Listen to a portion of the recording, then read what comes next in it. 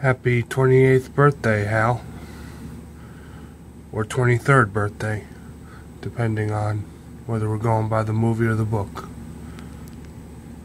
I love 2001 Space Odyssey either way.